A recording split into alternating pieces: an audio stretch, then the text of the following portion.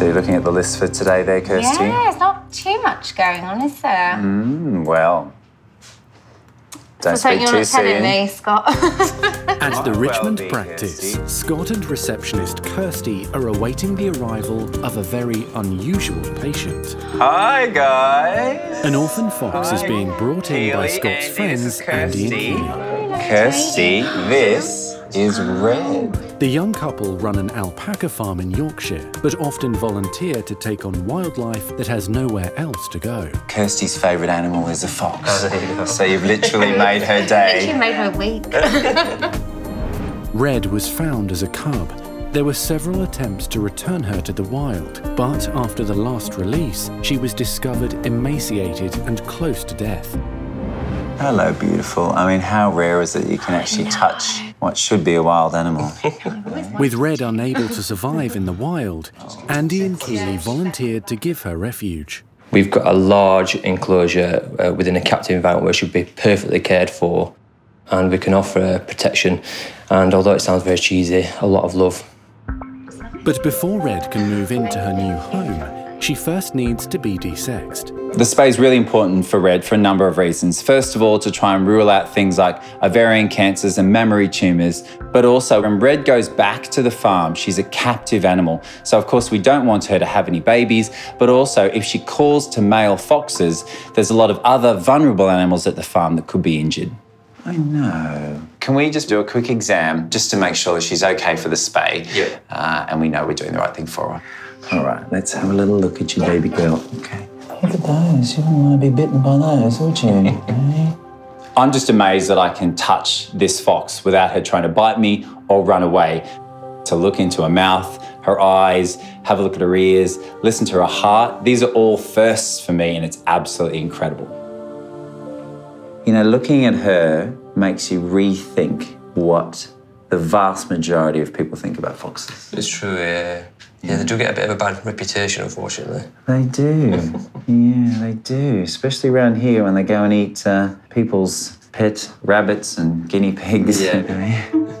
Foxes really do polarize people here in the UK. They either love them or they hate them, especially when their numbers are increasing rapidly in urban areas. Now, they might live in close proximity to us, but they're still wild animals. They shouldn't be approached by the general public. But because of Red's history, she's very much a one off case. I don't see there being any risks to this particular procedure. With Red passing her health check, the spaying of the young fox can go ahead. I can see how bonded you two are, and Keely, I know that you are vet nurse, if I Yes, remember that's right, rightly. yeah. So, uh, how would you like to help me perform the surgery on your girl? I'd love that. That'd be brilliant. yeah. It's good that I can be there for Red, especially she's going under anaesthetic, so there's someone familiar there for her. And Red hopefully feels a little bit more secure with what's going on. I think I'll just sit outside and worry if that's all right. Not my little girl. You'll be good. As always with animals, you take them on, and as soon as they come into your care, you can't help but become attached to them. It's like adopting a child. Good girl. Mummy's got you.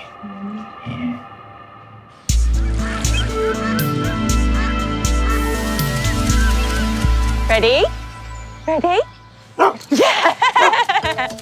In Brentford, three miles north of Richmond, Scott's new patient Hugo is enjoying some playtime with yoga teacher Natalie.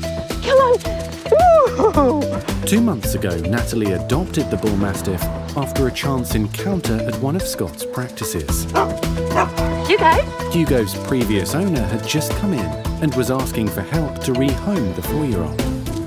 So I was going into the vets to buy some special cat food for our cat, and uh, there was this beautiful dog in there. Turned out to be Hugo, and basically the guy who had Hugo just said, "Do you want him?" And I was like, "What?" Look at that happy face! Yeah, happy dog. When we met him, he had this lovable nature around him, but there was just this insecurity. You could see that he didn't quite feel safe in the world. And I really related to that. And I said that to him. And I said, you know, I'm going to take you by the paw and we're going to do this together. You know, you and me, we're going to feel safe in this world together. Can you do some up dog with me? No? Just sleep dog? After her daily yoga session, Natalie will be taking Hugo in to see Scott. The Bull Mastiff has little medical history, so he needs a thorough vet screening for any potential problems. I think it's just to be sure and to be on the safe side. We just want to have him checked over. Every day, I just look at him and just fall in love with him a little bit more. He's just the most gorgeous being, and I adore him. I love you. Yes, I do. So, Emma, I've got your patient Red here. Yes. At the Richmond practice. Here she is. Head nurse Emma is about to meet a surprising patient. This is Keely, and this Nice to meet you. is Red. Nice to meet you. Go that way. You said you were bringing me a patient for a spay. You did not say you were bringing me a box. I know. Oh my goodness. I know. Isn't she a beautiful girl. surprise, Oh, though? you hide. You hide. Oh, isn't she Yeah. gorgeous? Animal rescuer Keely, who's a trained vet nurse, is joining the team to spay Red. It's always a bit more nervy when mum's watching. Yeah. Just Don't a you find? little. Yeah. A nurse, mum. I know. You need to be on our best behaviour today. Hi, sweetie. It's definitely fascinating for me to be here to watch this. I've never seen a fox under anaesthetic before. I've only ever seen them in the wild. So it's nice to be this up close with her doing something um, different, really nurse-wise. All looks good. She's nice and settled under anaesthetic. Good. Bit nerve-wracking, but I'm sure she'll be fine.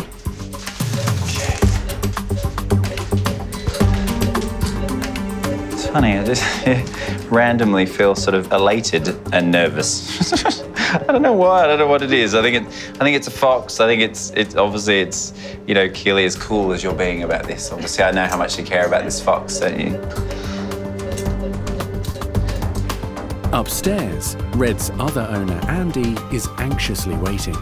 It's always nerve wracking. It's only a short time, but it seems like hours when you're here waiting. This operation's going to be one of first. Like I'm just looking at that, going, it's not just a spleen; it's a fox spleen. Everything is fox something, isn't it? You've got a big smile on your face. I've not seen you smile this much for ages. Look at that. It's just because it's amazing. What a great job we've got. Andy and Keely feel it's really important that all the animals that they look after are neutered. So to have this fox spayed is just the right thing for her and for her future to ensure she doesn't have babies. So that, my friends, is that. Red spayed, all done. Let's wake our girl up, shall we? Absolutely. I can barely tell you've been in there. Thank you, Keely. You know, I aim to please. All right, let's just... Make his head go any No, I do. I do love a really small incision line. Hello, expectant dad. Here she is with mummy. Hello. She's been such a perfect little patient, hasn't she, Keely? It's been lovely. Came around really nicely. Yeah, and it all goes all right. Yeah. She's ready for the lovely hills of Yorkshire. So, as sad as it is, it might actually be the last time you guys have a proper cuddle with your girl because uh, we need to start encouraging you to be a bit more wild than you are. Mm. Hey? Physically being able to hug a fox is without doubt a unique experience. But we don't want Red to be a pet under any circumstances. She'll be a wild animal living within a captive environment. And I really hope it's okay if I uh, invite myself up to see this beautiful patient of mine. Yeah, by all means. But if you're coming up anyway, there's a few other patients you might want to see. Oh, is that right? Yeah, if you- possible. Are you going to elaborate at all? or- Uh, no, I like a little element of surprise. Yeah, yeah. Well, and I like a challenge. so. Considering all the crazy animals that he looks after, I'm sure it's going to be lots of fun. Goodbye, gorgeous girl. Can't wait to see you soon. Hey?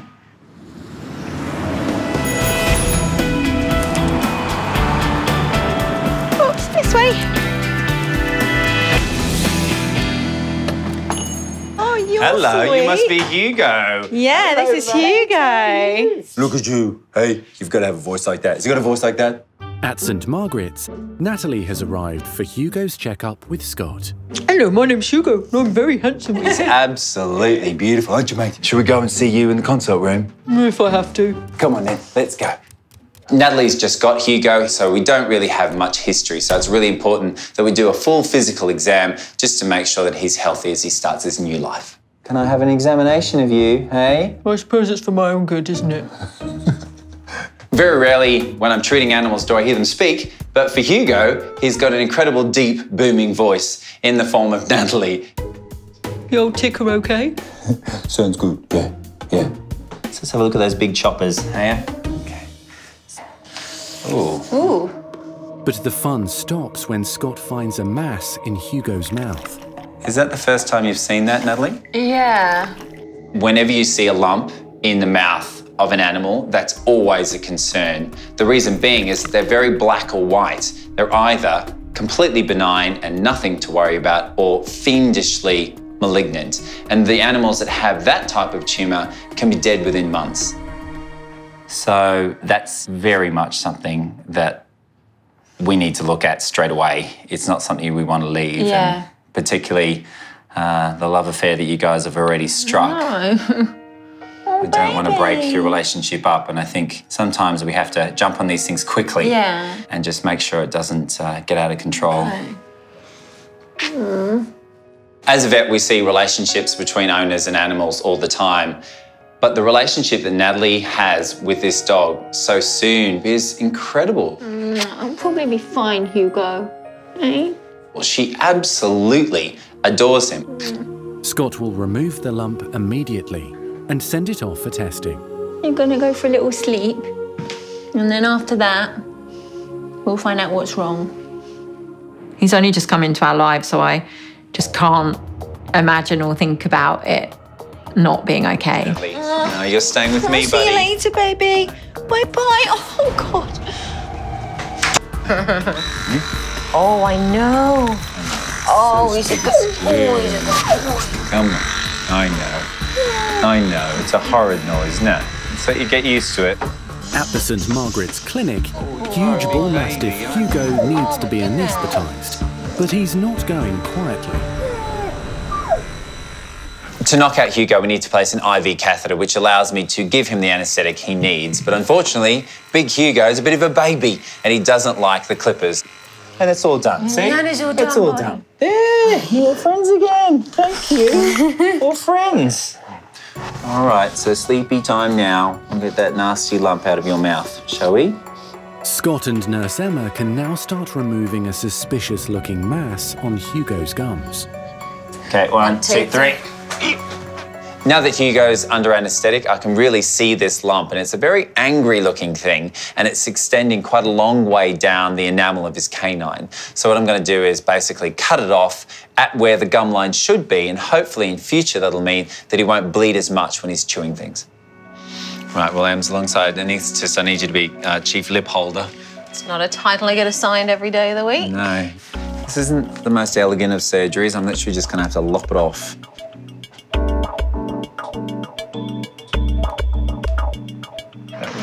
Will away. Okay, one nasty lump removed. All right, so that's that. I think it's time to wake him up. Good boy. There we go. Good There we go. Oh dear. The lump will now be sent for testing to find out if it's cancerous. If it is something sinister, it's really concerning. So we'll just have to wait and see, cross our fingers, and hope for the best. Later that evening, Hugo's owner Natalie is waiting at the clinic, Oh, I can hear him. anxious to be reunited with her gentle giant. Ah. Hello. Hugo, who's this? How's my boy? Hello. Hello. It's me. I cannot believe you're not more excited. Oh, you a bit dozy. How's your mouth, Poppy? Yeah, I'm really happy with the result. Yeah? Um, it came away really nicely, and now he's got Okay. a nice, clean gum line. You'll be able to see. So that's normal. And then this is the new one. So you can see it's nice and straight and clean now. Oh, yeah. Yeah. Wow, what a difference. And now we've just got that anxious wait for the next few days. The days. results. Yeah. You a bit anxious too about it, hey? Yeah. Just hoping for the best, really. You know, coming in for a health check and then spotting something and to have it treated very quickly is brilliant. And then Hugo will hopefully be okay and life can resume as is the new normal, the new normal with Hugo, which I can't imagine a normal now without Hugo because it's just such a fabric of my life already. Come on, Eugene. Come on, champ. Wake Come up. on, big fella. Time to go. Good boy. Thanks, Scott. All See the best, soon. Natalie. Bye, Hugo. Bye. Bye, Bye, handsome Scott. man. Thanks, Scott. Bye. Bye, mate. See ya. Bye.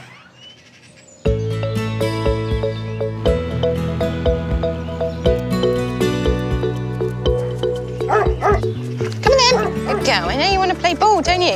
One of Scott's nurses, Sam, is enjoying a day off with her four dogs. Jack, careful. Among them is nine year old Jack, who's caused Sam plenty of heartache over the years. Oh, I know you want to play ball, but you can't run around. Jack's unfortunately had to have seven major orthopedic surgeries in the nine years that I've had him. So he's had three hip operations in one hip, uh, he's had another hip replacement in the other hip, he's had cruciate surgery, he's had spine problems, and also a plate put in one elbow. Careful. He's actually a bit of an inspiration, really, because I look at him and just think he's gone through so much. Nothing fazes him. He's always wagging his tail. Everyone he meets absolutely loves him. And when you're having a bad day, just think, well, he's got a lot more on his plate than I do. Come here. Jack's medical bills have cost more than £30,000 already. But now the Labrador has yet another issue. There's obviously something wrong with Jack's left hind leg, and that has progressed to him being completely lame at times. So I am quite concerned that there is something quite seriously wrong. Good boy. Don't really running around hurting yourself. Sam will soon be taking Jack in to see Scott, and she's dreading the diagnosis. Because Jack is a nine year old dog, I am worried about putting him through an anaesthetic at this age. I'm tired. No. Jack means the absolute world to me. I've had him since he was 10 weeks old, and he's grown up with me, and he's a massive part of my life. And I couldn't imagine him not being here. Really, I would be heartbroken if anything happened to him. So it's the bionic dog. Hi, mate. He is my bionic dog. Oh dear. Oh no. I just think it's so gorgeous that he still is just such a friendly chap in the vet clinic to the vet after everything he's been through. It's extraordinary. You're a good boy, aren't you? It's always upsetting when a member of staff, which feel like family, come in with their animals. Should we get you in and have a look at you, hey? So when Sam walks in yet again with Jack, and Jack has a new issue that we need to deal with, of course, straight away I feel for Sam. So I can see immediately there, Sam, that he is not evening up his back leg. So he's taking all the weight on the right leg, and the left leg is taking virtually none. You can just see how easy it is to move that foot and not that one. Immediately, Scott suspects that Jack has ruptured another cruciate ligament. Okay, so I'm going to do something called a cranial draw. It basically just sees if the cruciate ligament, that major ligament running through the joint and mm-hmm. keeping the two parts of the, the leg in alignment. So let's just see. Unfortunately, I can see that there's an abnormality in that there is movement and there shouldn't be. It should be solid and stable. So has his cruciate completely ruptured or go, uh, going that way? I, I think it's very likely that's the case. Oh, Mr. Jack. So another surgery. Another surgery. Another surgery. Yeah. It's a real shame. It's a, it's a real shame. And and one thing we obviously have to address, Sam, is is the fact that these surgeries have happened every year for a lot of years. Hmm. But now what we've got is a nearly 10-year-old dog. Yeah. And that's a concern. It's a massive concern. Anesthetics in older dogs are always problematic. And yes, he's been through them over and over again, but that also hmm. is yet another thing to be a little concerned by. So, And recovery time gets longer, doesn't it? yeah, well, it's one thing to break a leg and have or have a hip replacement when you're 20, Yeah. but when you're a grandmother that's just fallen down the stairs, it's a different thing. And he is like an old granddad now. I just really didn't want him to have to have another surgery. But equally, I know I obviously can't leave him like this, and he is in discomfort. And I, I don't want him to just live on pain relief and just hopefully get by. We have to do what's best for him, don't we? Yeah. Jack will now be referred to specialist orthopaedic surgeon Michael Hamilton. To have to consider going through another surgery, that is absolutely harrowing. But she's such a brave girl, she's such a dedicated girl, and she's got a big heart. So Jack is incredibly lucky. In Northern England, for a reunion with his patient Red. I'm so excited to be able to catch up with my good friends Andy and Keely again, and just to see how their beautiful little fox Red is getting on. The fox needed to be spayed before she could settle in permanently at Andy and Keely's farm. When she was first rescued, she was unbelievably tame. Even though she'll never be able to return to the wild, Andy and Keely are hoping with a little bit more time and space, more of her natural instincts will return. It'll be great to see how she's getting along, but I've got a sneaking suspicion that that's not all I'll be getting up to when I get up there. Come on. Foxes are solitary animals, and Red is now living in her own enclosure with inside shelter and access to an outdoor run. Good girl. Andy has been gradually reducing human contact. Feeding her is from arm's length. There's no more hugs, unfortunately, but that's exactly what we want. She's acting like a wild animal. Hey, Andy. Hi, How right. Doing? Yeah. Hello, Red. Hello, gorgeous. How's my patient? She's doing really well. Yeah. Yeah? Yeah, she's recovered really well. Hmm. But more of a wild streak in her now, which is good. Hmm. When Red was first rescued, there were several attempts to rehabilitate her to the wild. They all failed, and it became clear she couldn't survive away from the farm. We absolutely are not going to put her in the face of death again. So she needs to be in a secure environment and as close to wild as this fox will ever get. I'd love to stroke you, but you know what? I know that's the wrong thing. It's tough, this animal welfare malarkey, It isn't certainly it? is. It certainly is. She just have times when she calls out for company, and it is heartbreaking to sort of uh, lock the door at night and think, "Oh, bless her, she's crying out." But you know it's the right thing to do at the end of the day. But I'm a little concerned for her next door neighbours because those ducks are going to get more nervous the more wild she gets. hey? They certainly are. That's it. Remember, love thy neighbour. All right.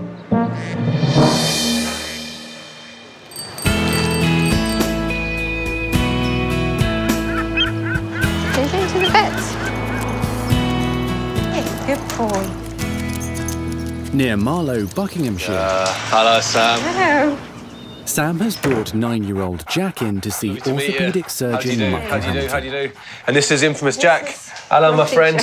How you doing?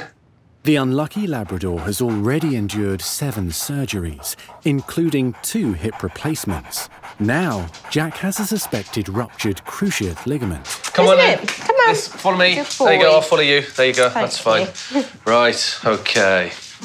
It is hard to see Jack struggling. No owner likes to see their animal in pain, and he knows that he can't run around. It is hard to watch. Good boy. Good boy. Oh yeah. See that finger moving forwards? Yeah. Look at that. Very unstable. A lot, isn't it? That should not do that. That is one ruptured cruciate ligament. Oh, he may also have damaged his meniscus, the little shock absorber. The meniscus is a piece of cartilage oh, that cushions the knee joint. When the knee's unstable, it can be damaged or torn. And in people, people describe a really sharp, stabbing kind of pain in your knee. Uh, I think that's what he's got. So he's putting a very brave face on it, but the fact that he's as limpy as he is on that leg, I think it's because he's painful. We're going to do a thing called a TPLO, which stands for tibial plateau leveling osteotomy. In a normal knee, the cruciate ligament is a big cable that holds the bones in that position, but now that's snapped, the bones are doing this. Mm-hmm. So we're going to make that slope flat. So now when he stands on his leg, there's no hill. It's a bit like if you stand on an icy hill, you'll skid down the hill, and the steeper the hill, the quicker you skid. But if you stand on an ice rink, it's still icy. You don't go anywhere unless someone gives you a push. I, I would normally say that these dogs will make a full recovery, and that's that's a pretty bold statement as an orthopedic surgeon. But the vast majority of them do. He's never going to win gold medals, put it that way. But we can definitely get this knee as good as it's going to be. Sam now needs to say goodbye to Jack. Michael will be taking him straight into the operating theatre. Still love me, don't you? Make you better. I do feel a bit nervous about the surgery, as, as with any of the surgeries. There's always risks and things could go wrong. But I just really hope all goes well. I'm gonna be brave. I know. God, he just wants to kiss you to death.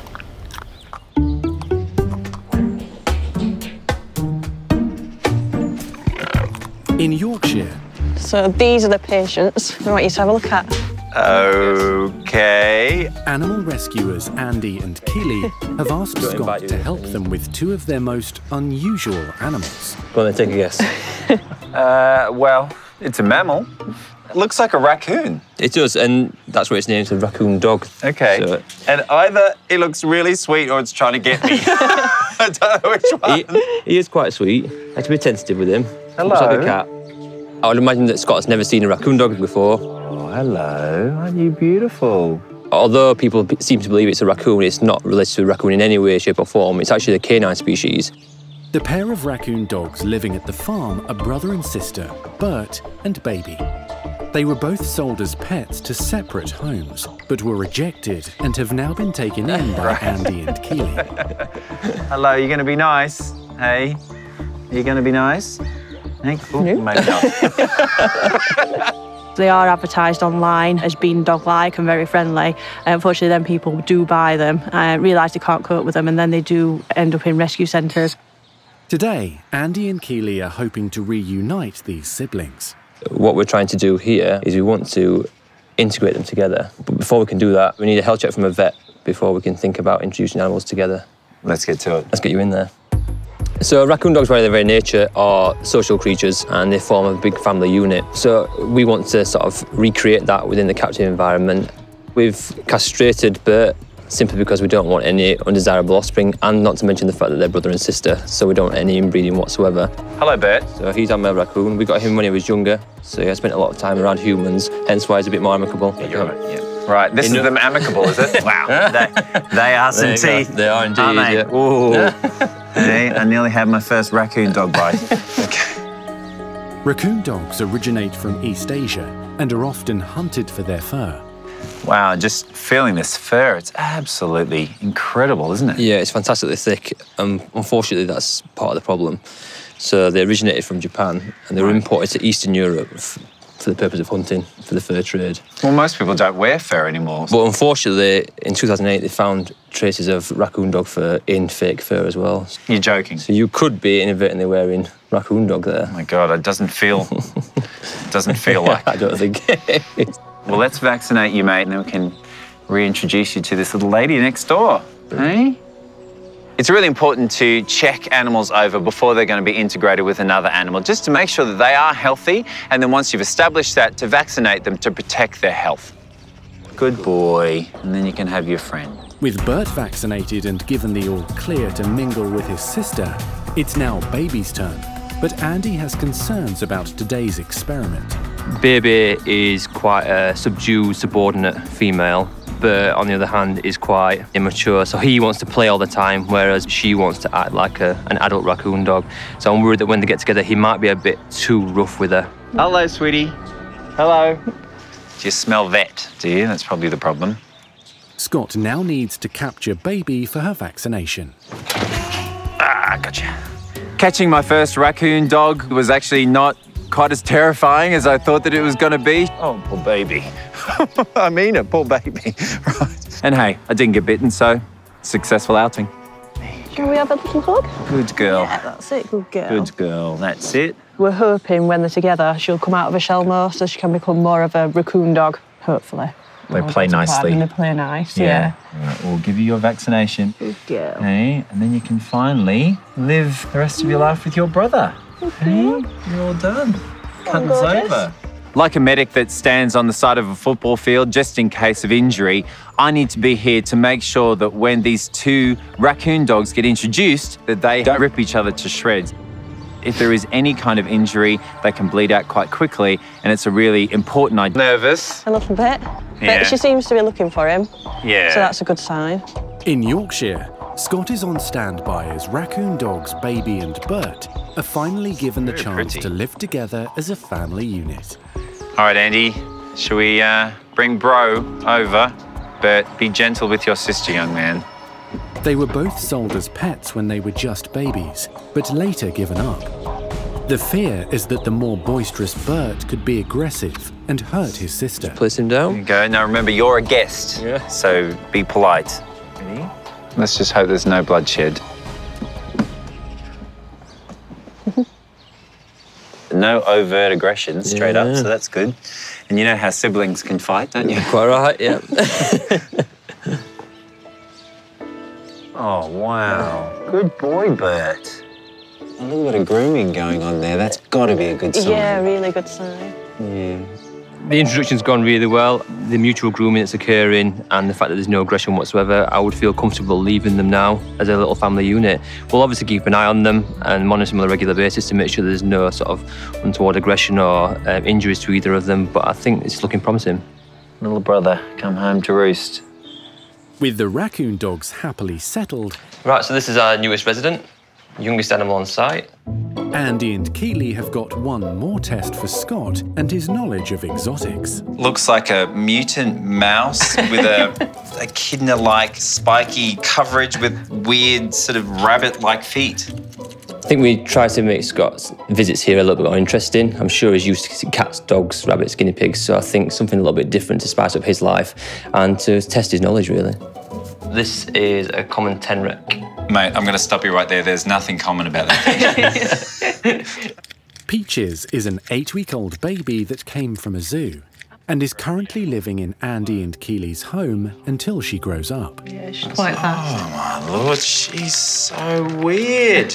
you are so incredible looking. Look at that nose.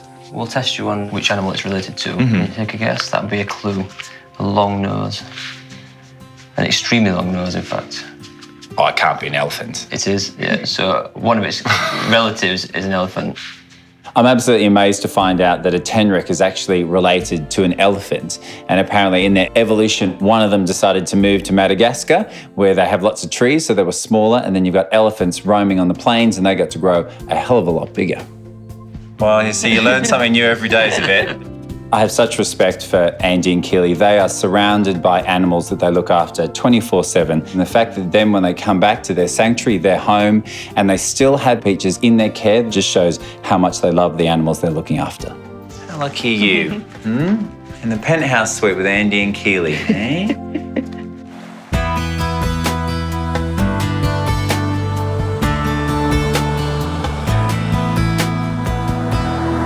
Use your will. Will make you feel nice. Use your will. Oh, thank you. Near Marlow, nine year old Labrador Jack is about to undergo surgery on his ruptured cruciate ligament. There we go. All right, all right. You're all right. Yes, you're all right. Oh, thank you. So the first part of the procedure is to get inside the knee joint. Right, I'm just going to crack on now. And actually look at the cruciate ligament or what's left of it, and also to check the meniscus, the shock absorber. Because if he's got a torn meniscus and we miss it, he's going to stay lame. So we're going to push this in here, and see that white thing? That there is part of his shock absorber, which is torn. So that is a torn meniscus. If we didn't check that meniscus and left that torn in, no matter what we do with stabilising the knee, he'd still be sore, which would be a failure. With the fragments of the torn meniscus removed, Michael can now start stabilising Jack's knee. Right, ready? Yeah. Go. And what we're going to do now is the nuts and bolts of the procedure. We're going to actually make the top of the tibia, which at the moment is on a slope, we're going to make a cut in the bone and we're going to move it such that it's flat and we're going to stabilise it in that new position with a plate and screws. Power screw driving. Makes you feel like you work for McLaren.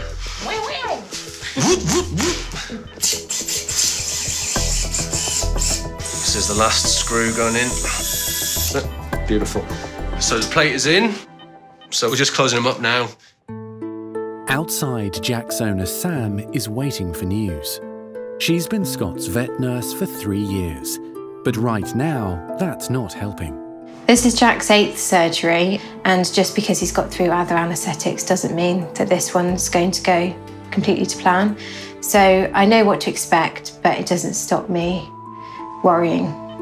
I just can't wait to see him, know he's okay, and just get him home and give him lots of love and cuddles. That test that we did before with this finger moving forwards, we do the same test now. Rock solid, stable. So a bit of added pressure, given that it's a friend's nurse's dog. I guess she's a friend as well now. All looks good, feels good. Um, I'm happy. Look, Jack, someone here to see you. Jack. Hello.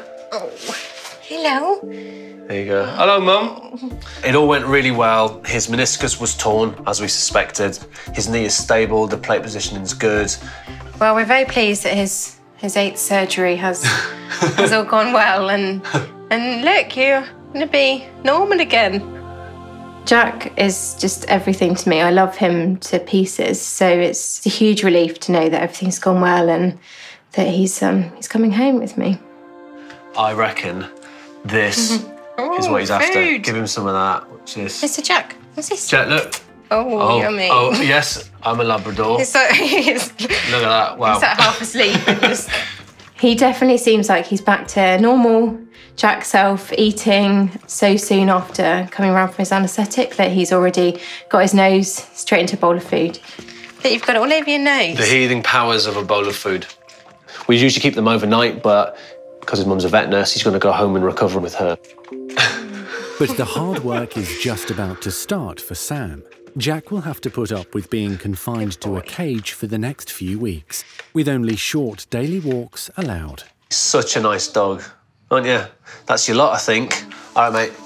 Giving me Get well soon. knee. Don't get fat. Get well soon, and I'll see you in six weeks. Lovely. Mm, Okay, thank right. you. All the best.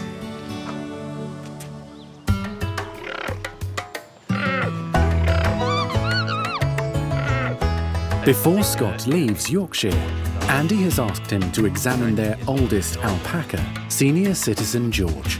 Hello, mates. You must be George. I must be honest, I'm not the alpaca vet that I could be. We don't really have a huge amount of them running around the hills of Richmond, so it is a new species for me to work with, but they do seem lovely. George acts as the headmaster in this group, so he's in charge of the adolescents. What are the challenges of looking after these particular creatures? Well, they're fantastic animals to work with, but uh, they're renowned for doing one thing, and that one thing is spitting. Oh, that's delightful, isn't it? Everything that's worked here has had it in the mouth, full on in the face. Good to know. Thanks for the warning. But despite the heads up, oh, you spat right in my mouth. Oh. Therein lies the challenges to alpaca farming.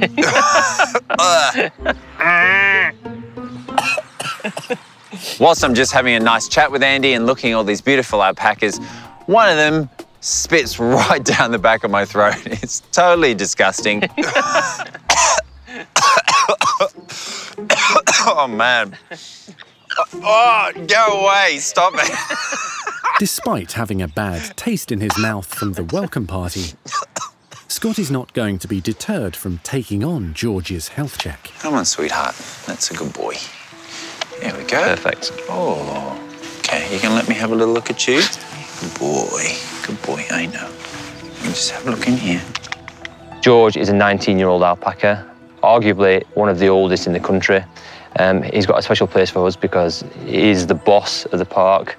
He's got a lot of attitude, but he's also got a lot of affection. And he's got a few loose teeth in here. Yeah.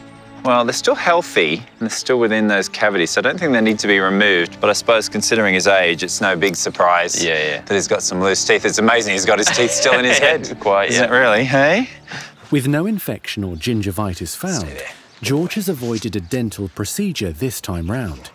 Scott now needs to listen to his chest and heart. Hey, hey, hey, George, come on, mate. Come on, come on, come on. George decides that he doesn't want me to listen to his heart. He is an old man, he knows himself, and so he starts to give me a bit of a kick. Wait, hey, hey, hey, hey, no kicking. So it's nice and strong and slow. This boy has still got some time in him yet, I think. Good. Good boy, George. Well, you know, you were kicking me, but uh, we can put that behind us, hey? Scott's last check is on George's aging legs. So what I'm just feeling is, uh, rather than a sort of smooth, flexible, well lubricated joint, this is actually like nuts and bolts. I mean, really, what he's got here, Andy, is just the arthritic knees of an old man. Yeah. As far as George's joints are concerned, I think a little bit of anti-inflammatory on a daily basis would be fair enough. But I think George really just needs a lot of TLC and a lot of love. And it's very clear that he quite enjoys a cuddle. He likes a bit of affection. Yeah, That's right, so I think just keep on doing what you're doing. Yeah, Lots of love for the old boy. There you go. See? We can do that, can't we? Yeah. oh, man. Just as we're finishing up with George, Mother Nature takes its course. It's not really our kind of show. and on that note, I think it's time for me to go home. Well, Angie, thanks very much. Again, another eventful trip. Always a pleasure. Thank you so much for your help. And always a pleasure, and uh, never a chore, but actually, there's always a lot of chores. We certainly will. We'll find some more for you next time as I'm well. sure you will. All right, cheers, mate. Take care. Thank you. Bye. Bye. There's one thing that I can be certain of in Sheffield the learning curve never stops. This time I can add alpacas, raccoon dogs, and even Tenrecs to my veterinary CV, but I absolutely love my new patient list, even the ones that spit.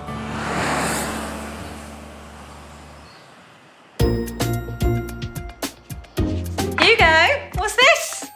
Are you interested or do you just want to sleep some more? 140 miles south, Hugo is now back home, and his devoted mum Natalie is preparing dinner. Uh, is it steak? No, it's dog food. Oh, I want steak. What are you having for dinner? Can I have some of that? Here we go. Dinner. It's been four days since Scott removed a suspicious lump from the bull mastiff's mouth, and Natalie has just received the test results. Scott gave us a call to tell us the good news that he has the all clear, which is, yeah, brilliant, brilliant news. I was saying I wasn't worried, but underneath, I was just desperate to get those results. And I don't think I'd realised how worried I was until we heard that he was okay, because I got really teary and was just so relieved. Having a nice snooze there, Hugo. You are the most beautiful dog in the world, aren't you, Hugo? You're so handsome.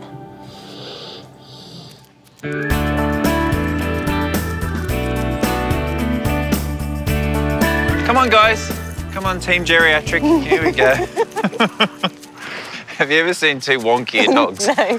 And two months after the surgery to repair Jack's ruptured cruciate ligament, the Labrador is back to his normal happy self, enjoying a stroll in the sun with Scott's Border Terrier Betty. Look at you two, eh?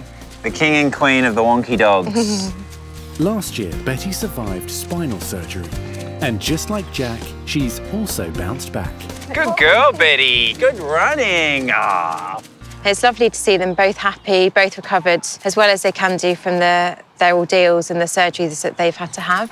Jack, come on. Jack, come on. Well done. Good boy. Not bad. Betty and Jack have done so well and come on so far from where they were that it's definitely been really worth it.